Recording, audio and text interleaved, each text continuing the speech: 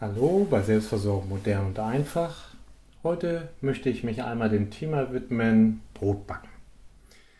Getreide.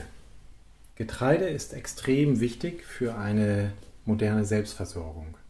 Unsere ganze Zivilisation baut ja darauf auf, dass wir Getreide haben in Form von Weizen, Mais und so weiter. Und das Schöne bei Getreide ist halt, wenn es einmal getrocknet ist und die Ernte eingebracht ist, es lässt sich sehr, sehr lange lagern anders als andere Lebensmittel, wie Mohrrüben oder so. Da muss man halt aufpassen und gucken und die lassen sich nicht so unendlich lang lagern. Insofern ist Getreide eine ganz tolle Sache und ein wirklich wichtiges Standbein der Selbstversorgung. Und heute möchte ich euch mal ein Brotrezept zeigen, das ich persönlich gerne mache, weil es sehr einfach ist und außerdem sehr lecker. Das habe ich im Internet mal gefunden. Ich weiß leider nicht mehr, welche Adresse das war, welcher Kanal. Sonst würde ich das gerne weitergeben, denn derjenige hat es echt verdient.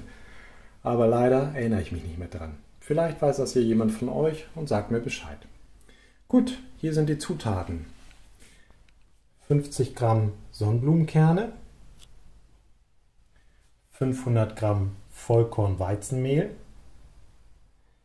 450 Gramm oder Milliliter warmes Wasser, 2 Teelöffel Salz, und 100 Gramm geschrotete Leinsaat, ein Päckchen Hefe und interessanterweise zwei Esslöffel voll Essig. Ich habe in diesem Fall Balsamico-Essig genommen. Ich werde jetzt im Folgenden die Hefe hier in dem Wasser einweichen oder einrühren. Das ist ja warm. Dann wird das Mehl zugefügt, das Salz, die Leinsaat, die geschrotete, Essig und ganz am Schluss das, die Sonnenblumenkerne.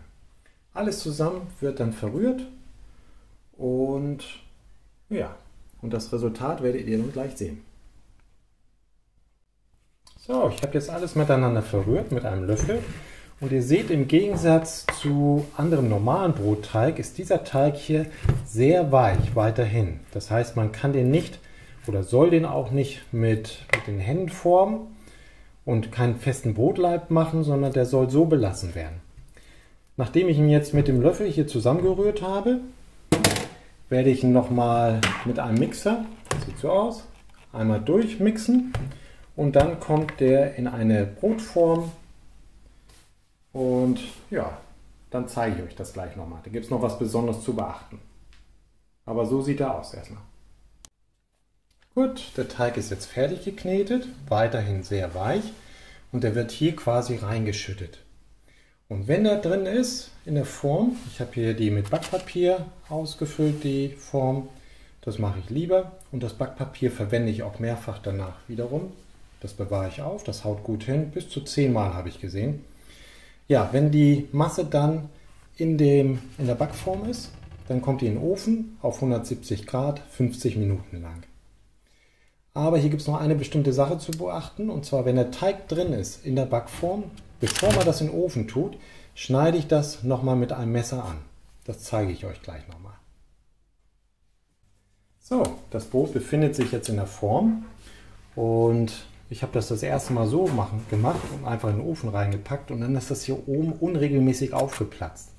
Und dann bin ich dazu übergegangen, das einmal, obwohl es so nass ist, da seht ihr auch, wie feucht die Masse selber ist, also wenn man das mit dem Finger machen würde, würde alles festkleben. Deswegen wird hier einmal in der Mitte durchgeschnitten, also nicht durchgeschnitten, sondern angeschnitten, so dass letztendlich die Kruste, die sich dann bildet, die Möglichkeit hat aufzuplatzen und regelmäßig aufzuplatzen. Und jetzt habe ich den Ofen eingestellt, 50 Minuten, 170 Grad.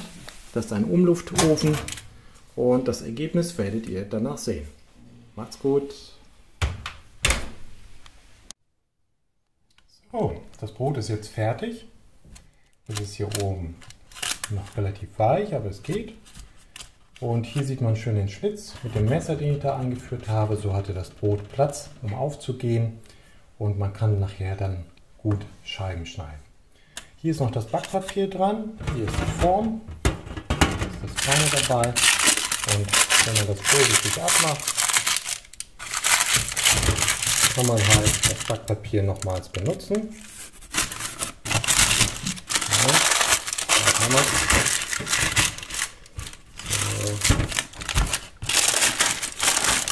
Ich das dann immer nochmal auf die Heizung und dann haben wir hier das Brot. Wunderbar. Und gleich zeige ich euch nochmal, wie es von drin aussieht. Ich schneide mal eine Scheibe ab, ist ein bisschen abgekühlt jetzt und dann habt ihr mal einen Eindruck davon, wie lecker das von drin aussieht. Mhm. Okay, ich habe jetzt eine Scheibe abgeschnitten und so sieht es jetzt von drin aus.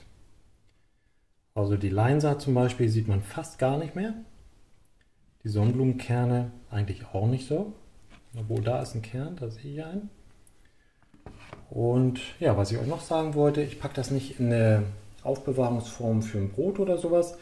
Ich mache das, wenn ich das Brot dann nicht mehr brauche, wickel ich das einfach in ein Handtuch ein, ne, wenn es ausgekühlt ist. Und das Brot hält sich wunderbar eine Woche lang. Und das Interessante an diesem Buch, an diesem Brot, ist, ähm, dass es lange weich bleibt einfach. Da war ich wirklich erstaunt. Vielleicht liegt es daran, dass es doch einen relativ hohen Fettanteil durch die Sonnenblumenkerne und die Leinsaat hat. Schmeckt gut, kann man alles zu essen, kann man auch zu Gemüsesuppe essen oder gekochten Gemüse. Kann man Aufschnitte drauf packen, Aufstriche. Ganz tolle Sache und ich mache das immer gerne und so ein Brot, wenn ich dann jeden Tag zwei Scheiben esse, mehr oder weniger reicht dann für mich eine Woche. Seitdem die Familie will noch mit dran. Aber bisher wollten die nicht, warum auch immer, die sind noch misstrauisch. Und ich genieße das Brot in der Zwischenzeit. Alles klar, soweit. Probiert es mal aus. Ich kann euch das nur empfehlen, ist wirklich einfach zu machen. Man braucht keine Zeit, um das Brot aufgehen zu lassen. Ist einfach ein super schnelles Brot und schmeckt klasse und lecker. Macht's gut. Tschüss.